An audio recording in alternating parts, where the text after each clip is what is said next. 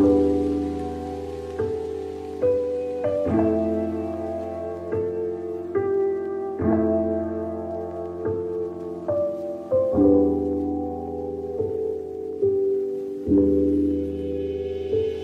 อให้มีทุกสิ่ง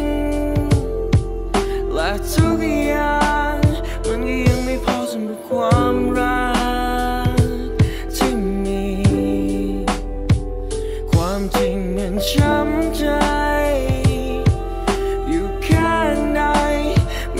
ที่จะรับรู้อะไรสักสิ่งมันคืออะไรฉันมีทุกอย่าง แต่กลับไม่มีความรักเหมือนกับคนอื่นบ้าง ฉันพฤติกรรมดูประหลาด ฉันมีสองคนอยู่ในหนึ่งร่างและก็ทำความเข้าใจว่าวัตถุที่เราเห็นไม่ได้มีเพียงหนึ่งด้าน ฉันไม่เคยแค่สายตาของคนอื่นมาก และฉันก็เป็นคนที่มันรู้สึกยากและความรักเป็นยังไง ฉันก็อยากรู้สึกบ้าง นี่มันกันนาน ฉันไม่ได้สัมผัสกับความรัก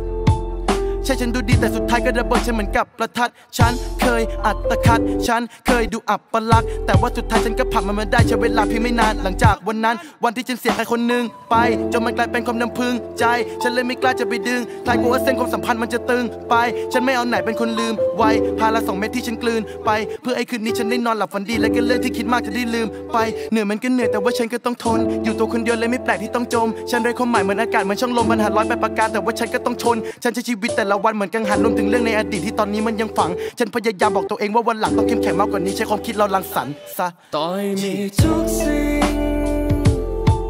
และทุกอย่างมันก็ยังไม่พอสำหรับความรักที่มี ความจริงมันช้ำใจ อยู่แค่ไหนไม่สามารถที่จะรับรู้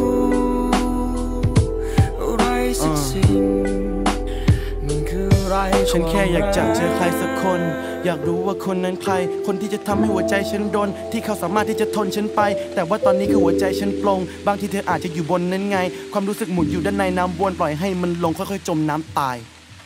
ยี่